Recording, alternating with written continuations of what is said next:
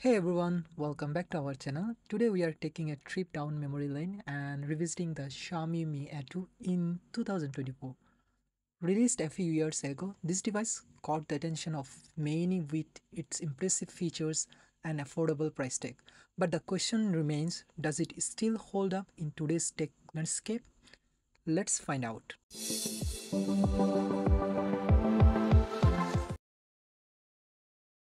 First thing first, let's talk about the design. The Xiaomi Mi A2 sports a sleek and premium build with its metal unibody construction. Despite being a few years old, it still looks and feels great in the hand. The curved edges and slim profile make it comfortable to hold and the fingerprint sensor, conveniently placed on the back, adds to its usability. Now onto the display. The Mi A2 features a 5.99 inch Full HD Plus display and the aspect ratio is 18 by 9 and frankly I have to say that the display looks very good although it is not an OLED panel or any high refresh rate panel but the display is pretty good and pretty bright. Actually it's pretty much usable anywhere you can use this one and it looks pretty good. The bezel here is pretty much symmetrical as you can see and the device look pretty good and also it's give you very good grip if you are playing games on this device.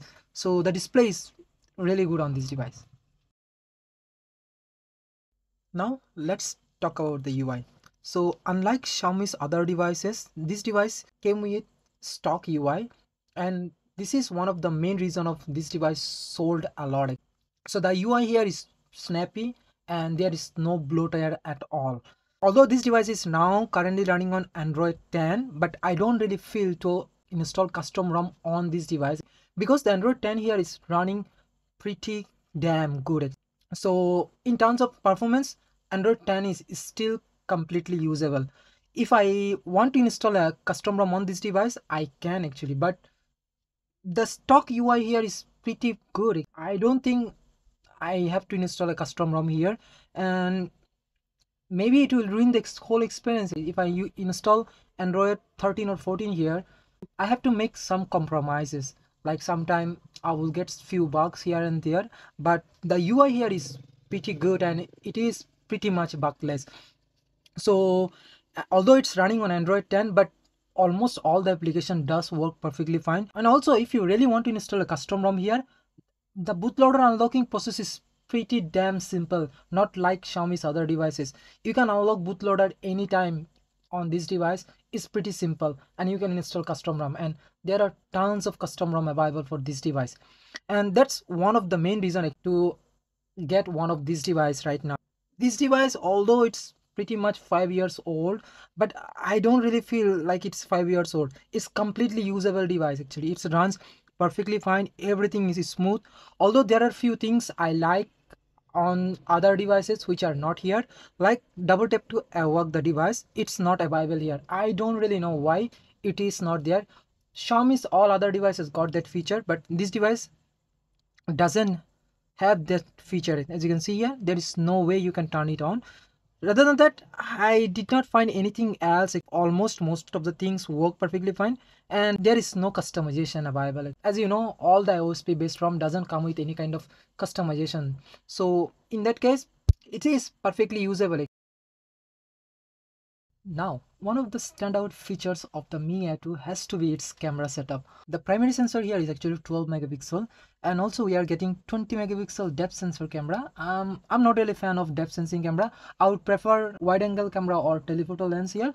But anyway, nothing to do now. And also we are getting in front 20 megapixel front camera which capable of 1080p 30 fps recording and on the back we can do 4k 30 fps so the camera is, is still usable and the camera is pretty snappy as you can see here. It does work perfectly fine and it does take pretty good pictures. The camera is still pretty much usable and compared to today's device it's still acceptable. The pictures quality the portrait mode and everything works perfectly fine. One of the things which i don't like about the camera here is that the device doesn't come with Camera2 API support. So if i check the manual camera compatibility so if i start it now it is testing. As you can see manual focus manual white balance manual iso so because of that actually i can't really use any gcam here. So if i install gcam it will not work here. So if i want to install gcam here now right now in this device i have to unlock the bootloader. I have to install Magisk and i have to edit the build prop to unlock the Camera2 API feature. Rather than that, I can install a custom ROM to get the feature actually. But currently I'm using another camera application here, which is called Camera actually. And as you can see here, this one is also working perfectly fine. And I'm using it in many of my devices right now instead of using Gcam. And the camera application here is also good which is MIUI camera here. So the stock MIUI camera is ported to the stock UI here and also you can install third-party camera application but no gcam so that is one of the downside of this device finally let's talk about the battery life. The mi A2 is equipped with a 3000 mAh battery. And compared to today's devices it seems very less. But because of the UI the battery actually lasts very long. I don't think the less battery actually are making any difference from some Xiaomi's other devices. Yes, you will get a little bit less battery backup than other devices, but because of the UI, you will not feel that. And also you are getting fast charging here. You can top up the device anytime with 18 watt charging and it also charges very fast. So I think the battery is quite okay on this device and is perfectly usable. Now, in conclusion, shall you get one of this device in 2024 or not? actually it's basically depends on how much you are paying for this device if you get one of this device in cheap price i think it's pretty much usable device as a primary device.